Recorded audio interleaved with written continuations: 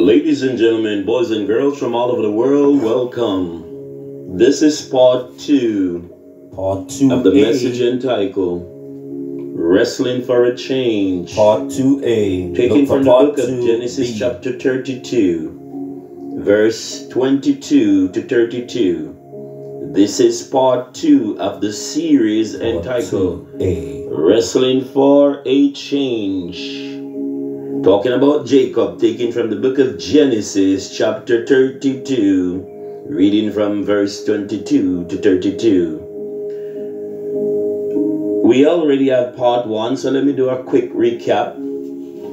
The background of this story is that Jacob and his mother used goat skin and put it in Jacob and Well, now Jacob was a smooth skinned person, but Esau, his brother, was hairy. And Isaac, their father, was whole and he could not see. And the mother knew that the Bible said, the Lord indicate in the Bible that Jacob should receive the blessing. But sometimes we try to help God by doing our own thing. well, And so the mother tell Jacob to go kill a kid, a goat, and cook some food. Because the father told Esau to get some of that good Vinci, yam, whatever that he used to cook that the father liked. Now the father told Esau to go do that, and the mother heard and tell Jacob when Esau gone, come quickly. Come and do this before your brother come back home. Now notice in the Bible in Genesis, the Bible said in the reading of the story about Jacob and Esau that the father said to Jacob, how you come back so quickly? But he thought he was talking to Esau. And Jacob said to his father, the Lord provide. Well. The. Lord provide. Be careful, my friends. Sometimes we're saying the Lord do something and we're lying on the Lord. Have mercy. Jacob told his father the Lord provide. Because you see, Isaac was blind, but he know the voice. He said when they came with the food, he said, the voice sound like Jacob. But when I, he said, come closer, come closer. And when he veiled his skin, he veiled the ear, not knowing that it was goat skin they put up on Jacob and and uh, the Bible said, he said, your skin feel like Esau, but your voice is like the voice of Jacob. Oh, brothers and sisters, they tricked Isaac and Jacob received the blessing, but because of the trick, because of the trick Oh Lord. that the mother and Jacob did to Isaac, well, they never, oh Lord. they never, after after the mother told Jacob to run away, your brother is upset, you know, I don't I know I don't want no bloodshed around here. The mother sent Jacob down to Laban, their family.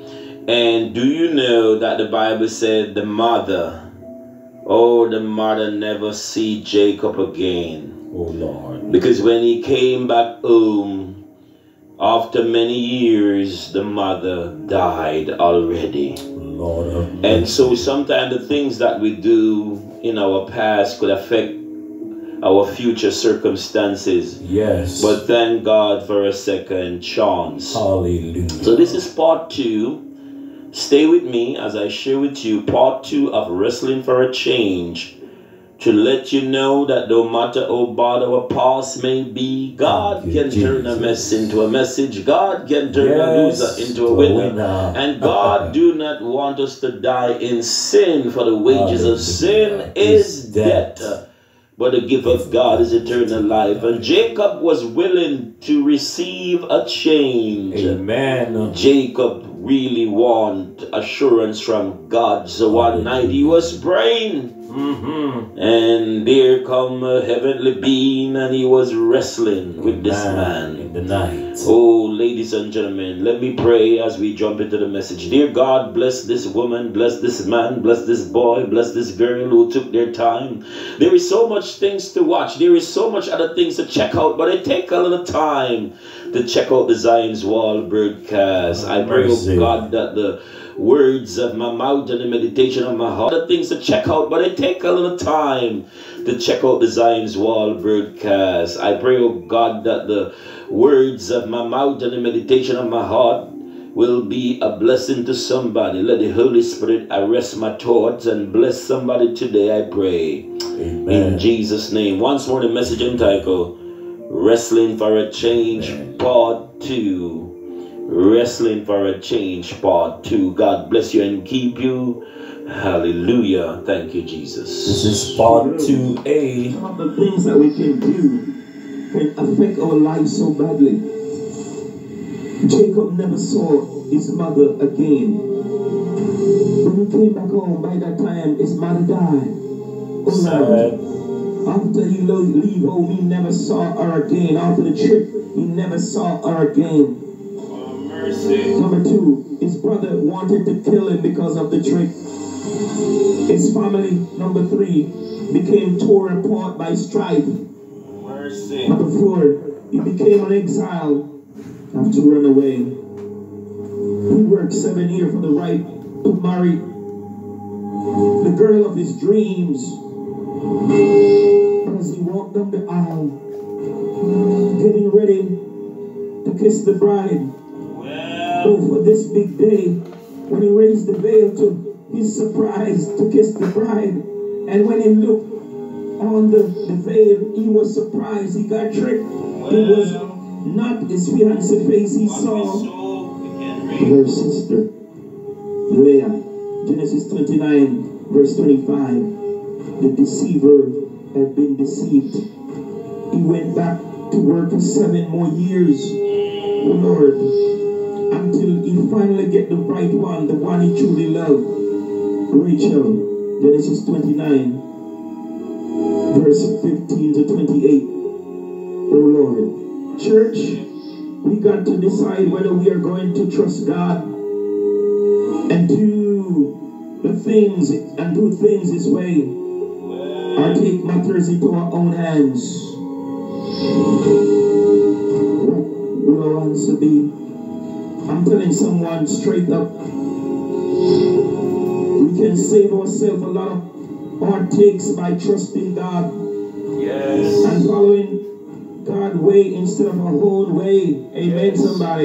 Yes, sir. We can save ourselves a lot of heartaches and headache Amen. and follow God's way instead of our own way.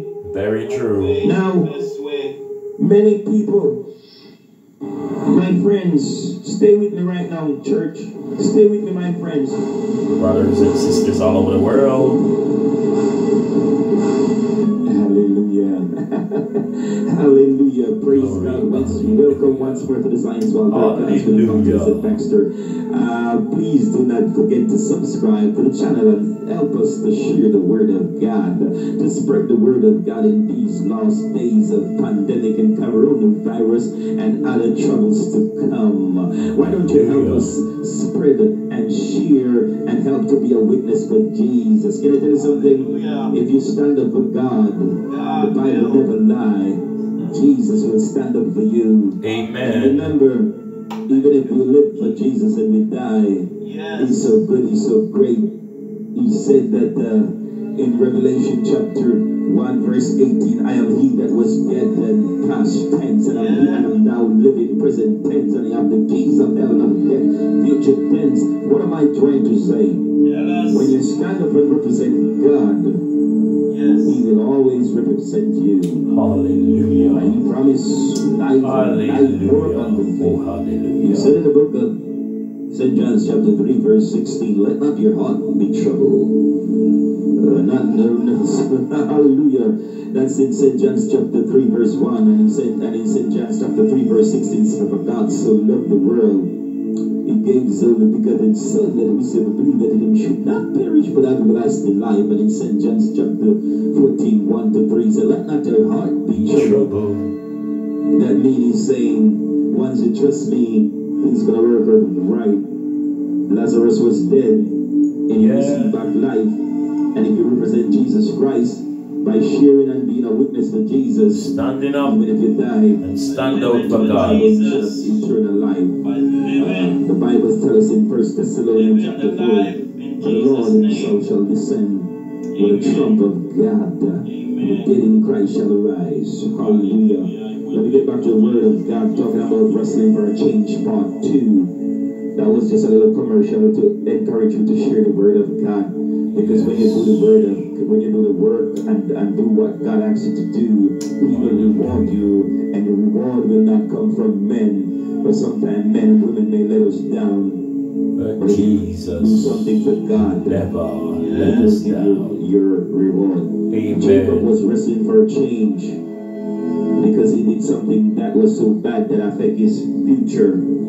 All of us have made mistakes, but thank God, even when we make mistakes, God is willing to forgive and He's willing to save. He amen. will not and will not support none of us in, in any sin, No, but He will help us to come out of sin. For the wages of sin is death. Yes. Romans chapter 6 verse Gift of 23. God. The gift of God is eternal life. Alright? So uh, we must be willing to wrestle are willing to get a change. And uh, Jesus is willing to give you and I that change. So stay with me. I'm going somewhere now. Stay with me. Now, because uh, uh, I'm going somewhere, so that's why I'm asking you, stay with me now. Let me get back into the word because I don't want you to go away. Stay with me now. Let me jump back into the word, talking about Jacob, his mistakes that he made, Him heartaches and. Well, And we can save ourselves a lot of headaches by following the way of God instead of doing things like Jacob and his mother. They do do things their way, and it's sad to say, after they tricked Isaac, the mother, oh Lord, after he sent, uh, she sent him down by their uh, the uncle there, Laban, she never saw him again. sad. Our Very sad. mistakes can cause us. Oh, Now, now, uh, Jacob possessed obviously some character flaws. Amen, somebody? Am I speaking the truth? Yes. Yes. Jacob possessed obviously some character flaws, Like all of us. but his strength, but his strength as well, also tell us something. His strength. What do I mean by his strength?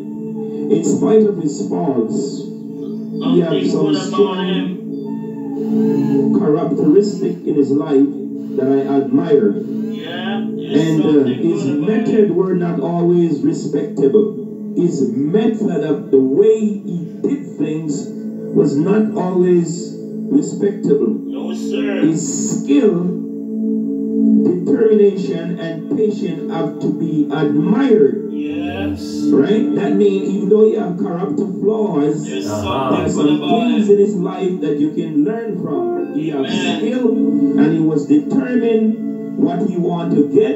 He's Uh-huh. gonna get what he want to get. Maybe sometimes the way he did it was not the right way. Maybe that's why the Bible said the, the, the Nicodemus, you must be born again because many of us have skills and sometimes the way we get stuff and acquire things may not be the best way. So we all, like Jacob, need a change. Yeah. Uh, Jacob, obviously, he got Yes, disappointed Yeah. when he did not get Rachel to marry, but he did not give up on his dream. What do I mean, young people? We have to be determined to acquire and achieve our dreams. And dreams don't come overnight. And dreams don't always come true as we plan it. But I admire that Jacob have some good things in his character. He was determined to fulfill his dream. Yes, I don't sir. know if anyone here are listening to him to fulfill his dream. I don't know if anyone here are listening to this message has ever failed before. Have you ever been failed? Have you ever failed before? Have you ever failed trying to achieve something? Yes. Have Yes, you ever sir. failed uh, trying to Many times. trying to pass a test, and, and you did not give up. Oh you went back and try again because delay do not mean denial. Yes. Right? Just because you fail do not mean you should give up. And um, Jacob demonstrate when he did not get Rachel that he was determined to get the woman he loved. He was determined to get the one that he chose. So Jacob had some strength. His strength was that he was determined, and delay do not mean denial. So Jacob, with his strength and his ability, was someone who was not easily ready to quit or switch. No, not to. He was not easily someone who give up and to acquire and to achieve greatness. You cannot easily give up in these last days. Jacob keep on trying in spite of his character flaws. I love the fact that he is not somebody that quit easily. He's Amen. not somebody, if you go to church and you have a New Year style and they didn't tell you it look good, you get mad. Or if they tell you something is not right, you get sad and start being bad and don't want to go back to church. Right? Jacob was determined. So he is not perfect, but he's determined to keep trying in spite of his past mistakes. Amen, somebody. Jacob was determined to keep trying in spite of in spite of his past mistakes and tricks. Right? Keep trying in spite in spite of the past.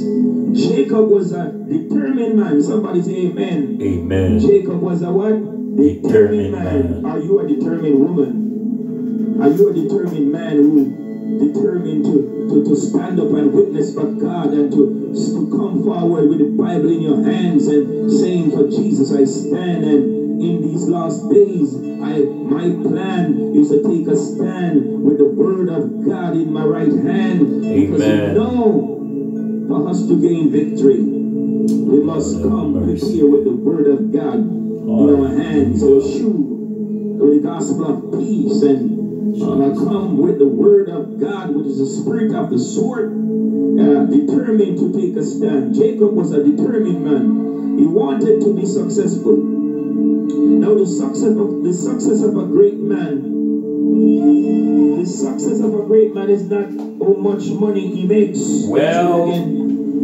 the success of a great man is not how much money he makes. No, sir. It's not how many children he, he, he have. No, sir. It's not how good he is in. Not how good he is at work or church. In the success of a great man is not based on your skill. His commitment to God. That's what counts.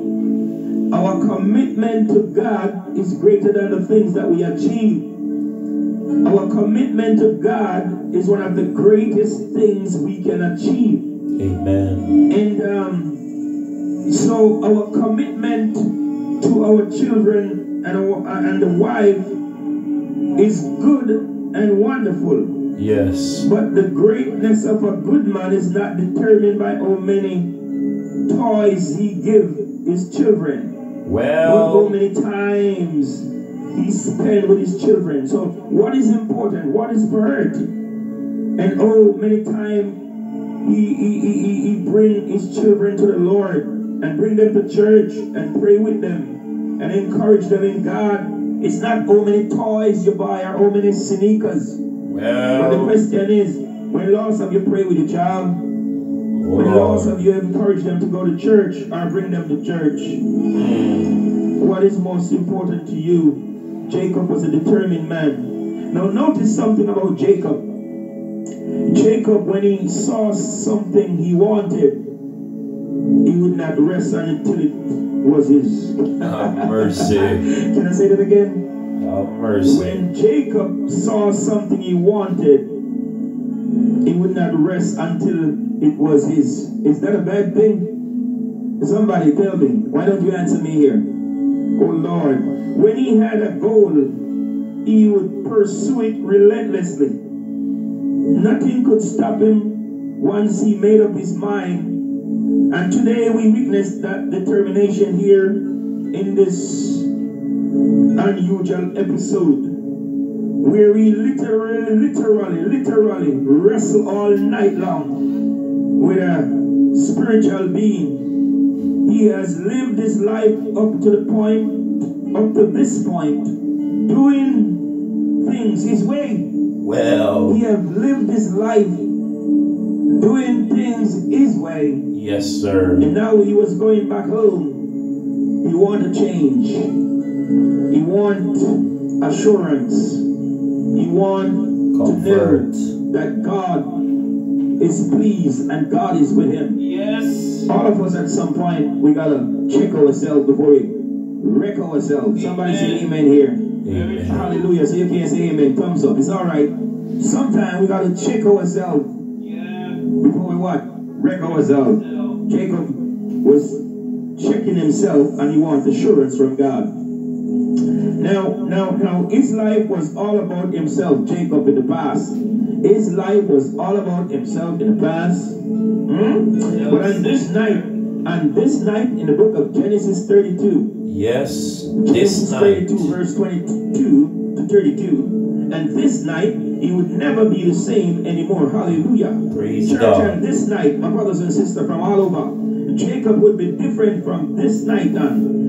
He was confronted with the pain of his past failures. Yes. This night. Jacob Amen. found himself Yes, wrestling sir. change this night. Now let us look at the word wrestling Come on, for a Baxter. moment. Wrestling. Look at this word. Wrestling is a sport in which two people fight and try to throw each other to the ground. In wrestling, we use our hands to pin uh, or press each other shoulder to the mat to win.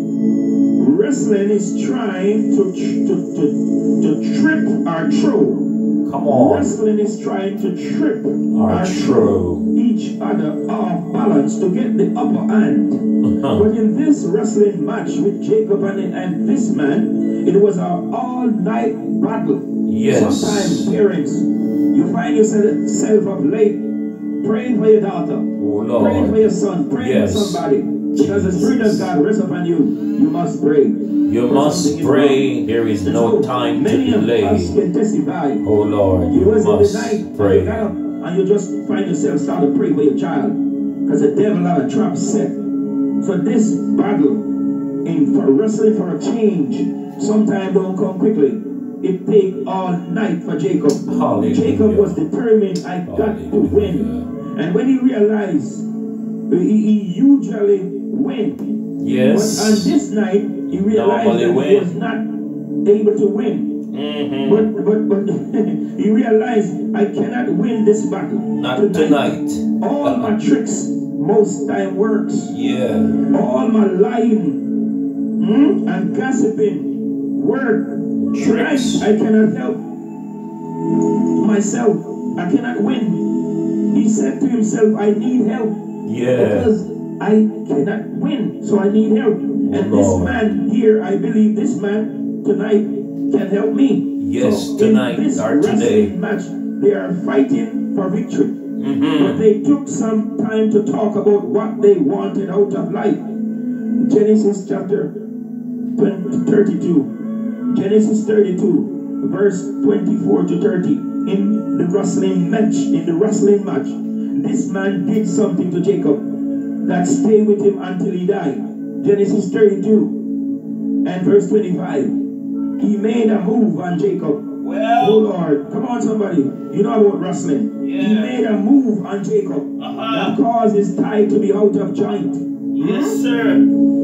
This move caused Jacob to walk with a limp. Yes. Sometimes mercy. The struggles of life Have mercy. will leave us with scars, Jesus. moments, memories of struggles. Lord, hmm? scars that you know that you was in a fight. Oh, Now this man told Jacob to let him go. And Jacob said, No way, no way, sir. I will not let you go. Not tonight. Let me tell you something. I, Jacob, will not let you go until you bless me. Oh Lord, Genesis 32, verse 26 to 20, verse 26 to 28. Sometime we have to keep holding on. And we can't let go. In this time of pandemic and coronavirus, we need to be under the blood. We need to be sure of God's love. Like Jacob, we can't let go. Now, if I have time, I would like to share with you four things we can learn from Jacob wrestling match in the night. Four things we can learn from Jacob wrestling match in the night. Number one, in the moment of great fear, God is there. Four things I want to share with you if I have time. So let me move fast. Number one, in moments of great fear, God is there. Somebody shout hallelujah. Hallelujah. In the moments of fear, God. God is there. Thank you, If you know what I'm talking about, say hallelujah. Praise be to God. Amen. What we did not read, because I didn't read this for you, but what we did not read in the first half of Genesis 32 is that Jacob is about to meet his brother Esau again for the first time in 20 years. Wow. Hmm? Try to imagine the thought going through Jacob's mind at this moment. He's about to meet up face to face with his brother he had deceived. Yes. He has not seen him since the day he ripped off Esau's birthright. Oh, Lord. Now, would you how would you feel knowing you were about to meet the person we had cheated and deceived out of his most precious possession? Oh, He was scared to death. Yes, sir. Hallelujah. He was scared to death. So Genesis 32, verse 6 to 7. And we didn't read that part. We didn't read that part.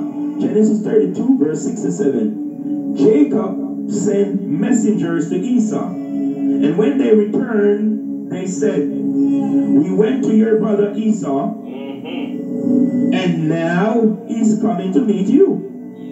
But he's not coming alone. He's coming with 400 men with him. In great fear and distress, Jacob divided the people who were with him in two groups. Well. Yes, Genesis 32. Look at verse 6 and 7. He was he, he, he, divided the people in two groups because he was frantic with fear. So he come up with a plan, hoping to soften up his brother. He sent messengers, uh, messengers ahead of him with all these gifts. 100 female goats, 20 male goats, Well. Hmm? 200 eves, Oh. 20 rams, Mm-hmm. 30 female camels with Well.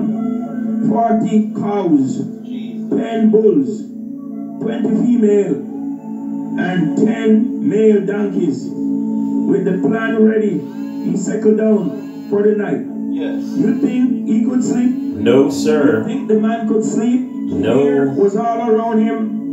Sometimes our past can bring fear, but Jesus is willing to give us a change. He could not sleep. No way, church. He could not sleep. He's piercing back and forth. He's nervous. He's worried. He cannot sleep. His mind is racing. There is great fear in his heart. Yes. Oh Lord, have mercy. Jesus. Jesus. He's saying to himself, What will happen tomorrow? Hold, hold on here. What will happen tomorrow? What will happen to me, to my family? He cannot sleep. Church, Trouble. Trouble. like Ladies and gentlemen of the Jacob, like us, need help. And he needs he needs direction. He need help and he needs direction. Jesus. I better pray. Jacob may be saying, I better pray. Look to heaven. started looking up to heaven. Church, he was looking up to heaven instead of looking down here for help. Can I say it again? Aye. Jacob, in his fear, start to look up to heaven instead of Hallelujah. instead of looking down here for help.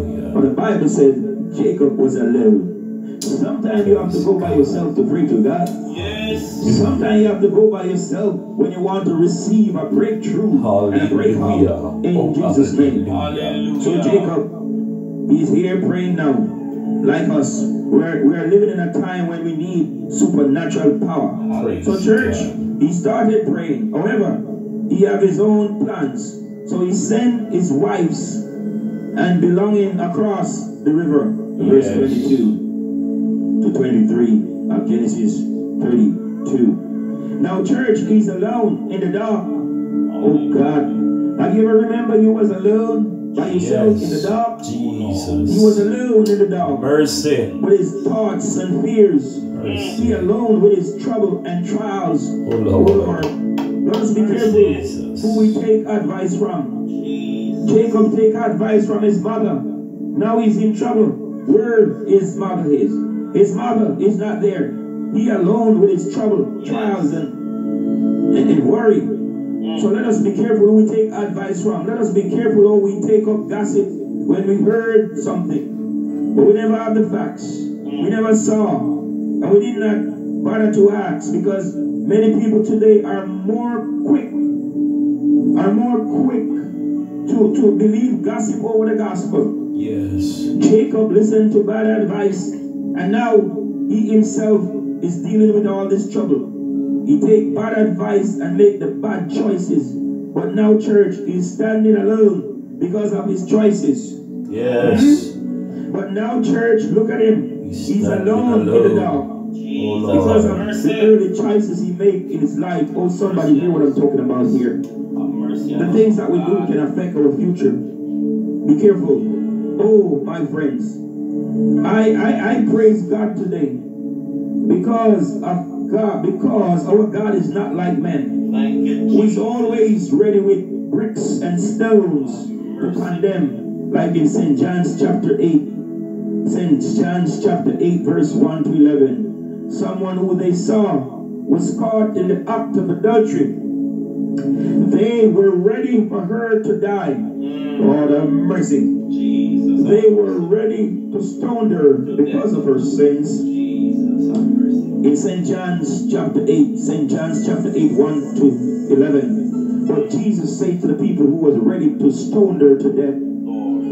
Because of her sins, they was ready to kill her. Oh Lord. Jesus said in, said in St. John's chapter 8, verse 7, He that is without sin among you, that have all those stones in your hands, hmm. let him first cast a stone at her. Oh, many of us are so quick to cast stone, to kill Jacob, to, to say he, he- he's wicked and he's this and he's that. But have you ever thought that we have done things similar to Jacob?